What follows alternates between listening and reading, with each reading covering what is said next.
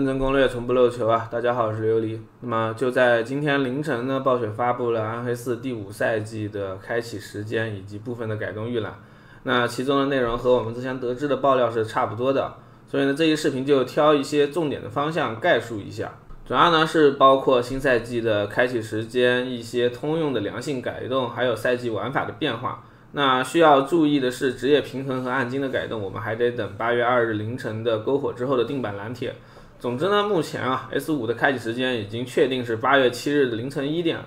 而第五赛季的主题内容也确定为“炼狱大军”这个名字。和以往赛季不同的是，这个玩法会在永恒和赛季服通用。赛季模式的玩家呢，会在难度一和二开启一个专属的赛季任务线；永恒模式的玩家就可以提前做难度三的任务，之后呢，就能直接解锁新玩法来进行游玩了。呃，这个玩法呢，在第五赛季的 PTR 中属于重点的测试内容。具体的形式就是我们打怪收集罗盘，然后通过开启这个罗盘呢，进入一个新地图啊，然后你在开启这个玩法之后，怪物会不断的刷新。我们只要在途中击败这些刷新出来的怪物，就能得到一些专属的货币奖励。在整场战斗结束之后，我们就可以拿这些货币去开启结束的宝箱来收获奖励了。而其中最好的宝箱一定会给予我们太古装备。那听上去是不是感觉还算不错？但在测试服中，它的表现是非常糟糕的，无论是战斗体验还是战斗的收益都相当差劲。而其中所谓的肉鸽因素啊，更是令人难崩的，给怪物选择词缀来强化它们。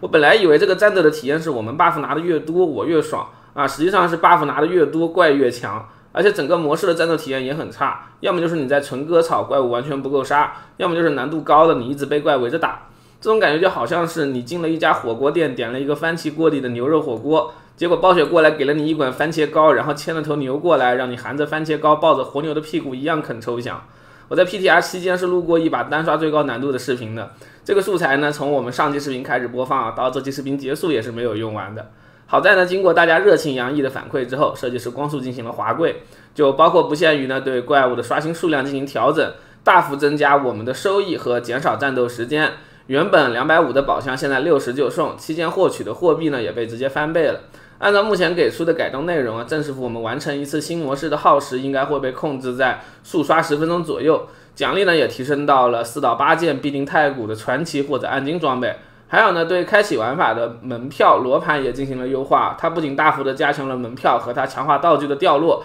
还能让我们使用符印粉末或者遗忘之魂来制作罗盘。虽然说我不清楚这些改动会不会让它变得更好玩，但最起码从收益来说，它算是能玩了。希望在后天凌晨直播里呢，可以看到更多的关于它的良性改动吧。然后是一些通用的良性改动内容啊，首先是暗金装备的词缀改动和掉落说明。暴雪在第五赛季会推出五十件全新的暗金和传奇威能，不再排除了赛季本身的威能和我们之前视频就提过的新暗金之外，每个职业分到的改动暗金数量是并不多的。对这些暗金的改动也主要是词缀的优化和特效的强化。那一部分的改动的暗金在我们之前视频已经提了。今天暴雪是放出了军帽的改动啊，它在特效不变的情况之下呢，词缀被改成了基础的一千八百五十生命、十八点最大资源、两千五的护甲以及非常强力的百分之二十冷却。如果这个数据不出问题的话，太古冷却的军帽强化全命中，很可能给我们提供超过百分之五十的冷却。哎，这才对得上它稀有暗金的身份嘛。估计其他的稀有暗金也有类似的改动。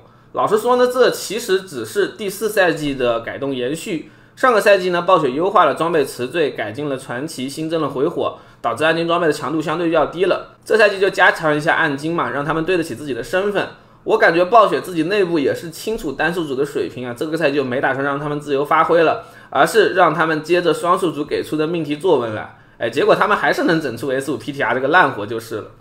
需要注意的是，在第五赛季新增的强力暗金呢，他们的主要掉落区域应该就是我们前面提过的炼狱大军的箱子了啊。老的那些暗金装备依旧是可以靠刷 BOSS 来的，而想要在赛季前期就拿到新暗金的话，你就得去刷炼狱大军这个全新的模式了啊。和我们第三赛季你要刷原神永夜就必须去刷那个四密库的副本一样了。哎，这就是单数组的设计风味，很符合我对他们的幻想。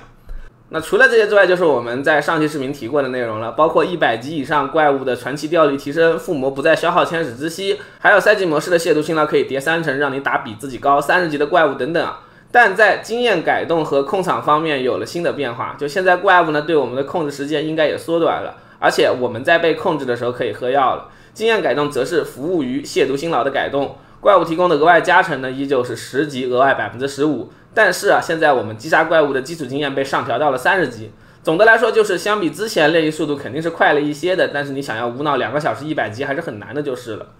那么以上呢就是本期视频的全部内容了，我是琉璃啊，让我们下期视频再见吧。